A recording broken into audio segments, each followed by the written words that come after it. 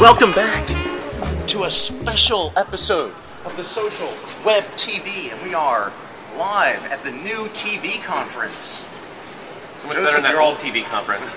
You dressed up special for this thing? Or yeah, yeah, San Francisco. You know, got a bunch of our uh, Comcast parents here, so we want trying to impress? trying, trying to look good. Yeah. Speaking of Comcast, we've got a very special guest, someone that many of you know only as Comcast Cares, Frank Eliason, who has transformed a number of things. He's transformed how a lot of us think about Twitter, and as uh, Brian Roberts, the CEO of Comcast, has said, has transformed Twitter has transformed Comcast culture. So, welcome. Thank you. And you know, it's been an interesting ride, but you know, it's great being here, get an opportunity to go to San Francisco and see a lot of our great customers and fellow Comcasters. And, and you're a legend here in Silicon Valley. I mean, really, I think, uh, I, you know, having gone through this, uh, being acquired by Comcast over a year ago, um, you know, obviously the topic of Comcast comes up a lot, and you know, there's people always say some good things, some not so good things, but one thing that always comes out is, oh man, but what they're doing with Twitter is so genius and so helpful, and I mean, it's just like it is the most positive thing I ever hear from anybody. So All right, so let's not assume that everyone knows exactly what Frank and team are doing. Uh, I, maybe as a preface, I find even even just last weekend, I am often explaining or defending what the heck Twitter is. so some of us are addicted to it, some of us are using it every day in our jobs. But why don't you just tell us a little bit about how you have been using Twitter? Well, uh, even beyond Twitter, we use social media to learn from our customers. So we, we're in blogs, we're in forums throughout the internet, we have our own forums, we're in Facebook, and Twitter is just among the many social channels that we're in.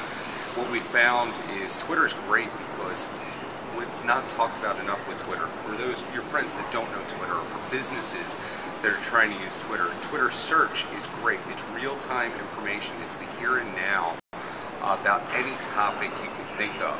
Uh, so you can simply search what people are talking about and start engaging in conversation with them. So when we see people talking about Comcast, uh, if some good, if they're saying some good things, we'll thank them for that feedback. Or if there's uh, have something where they need assistance with, we offer to help. And how long you been doing that? We started uh, on Twitter in April 2008. Uh, so we've been doing it uh, about almost a year and a half now, and it's been highly successful. And was that a big uh, corporate mandate from the CEO down? Get thee onto Twitter? No, no. Uh, basically, what happened, we were doing the blog stuff and the forum stuff, and it became my job. And then after that, uh, someone told me, oh, you should check out this place called Twitter. And like most people, when I looked at Twitter, I went, what the heck is a Twitter? And I don't get it. Um, but I played with it. We listened to it, listened in the space for a while. That's the key if you're a business. Don't just jump into a space because someone says, oh, go do this. Uh, but listen to it. We'll find the nature of the conversation and understand the community aspects of the space. And then as you do that, then you can start to engage in the conversation, which is what we did. Yeah. No, I think I think you make a good point there, which is the reason people get so excited about what you've done with Twitter. It's it's partly that they have this very immediate channel to get very high quality feedback, so I actually get my problem solved. Right? That. But there's also uh, an authenticity that goes with it, right? It feels like there's a real person there. They understand where I'm coming from. It sort of strips away a kind of a lot of the big corporate edifice, and it's amazing how disarming that can be and how endearing that can be. Well, I think you know social media itself is really about relationships, and I think brands have not fully understood that. So a lot of times brands go out there and they have brand messaging that they strive to do.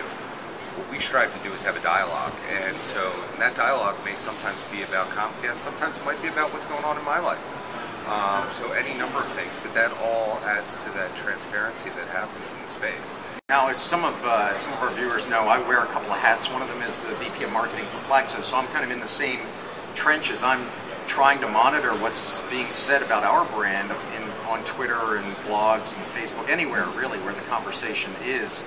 And you know, with 20 million plus users around the world, that can be fairly daunting to scale that up, to have relationships with everyone who's wanting to engage in that. How are you guys handling the scale? Because Comcast is massive. Eh, We're 24 million customers uh, at this point, somewhere around in that area. And you know, a lot of people say, "Oh, it's not scalable." Well, we've scaled it a while ago. Uh, so the people that pay attention to myself on Twitter, I'm not there as often as I used to be. When we first started doing it, it was just me. I was there morning, noon, night. Trust me, I was worn out. Uh, but today, my team is out there. They have their own IDs, which is very different than other brands, uh, and they will represent themselves. They'll respond to things on my behalf. And at the same time, I do go out at different times. I'll speak on things going on in my life. I'll respond to a few different customers too. So you can easily scale it, and you know, but it is still having each person having their own authentic uh, way of an approach. So one of the things that's happening here is really interesting. People are, are using these tools, in particular Twitter's this example where yeah, they just make an offhand comment. They maybe have 10 followers. They have no idea where that is going out. And suddenly some corporation has a, a voice, uh, first of all has an ear and then a voice and an outreach. Have you run into many challenges of people being both surprised and maybe even a little put off by the outreach? Actually, no, because, but it's all about the approach. Um, when we first, when someone is talking and they say something, what we really do is we'll respond, "Hey, can I help?" Uh, or something along those lines. And the reason that we, even if we had the answer, and the reason we're doing that is we're not trying to intrude in conversation. We're just letting them know if they want assistance, they can have it, but we're not trying to do anything else. And we throw the ball in their court. If they want help, they'll respond. If they don't, they won't. It's as simple as that. Um, you know, so I think it's all in how you do it, and we learn that by listening in the space. Do you know ballpark how many different people your team talks to in a given day? Uh, many Tens, days, about thousands? thousand, uh, about a thousand people we tweet to. We might engage in conversation, like full-fledged conversation with a hundred or two hundred. Uh, but then it varies. There's days where it's a lot more, and then there's other days where it's quiet. Uh, but I think that goes the same as through any other communication channel.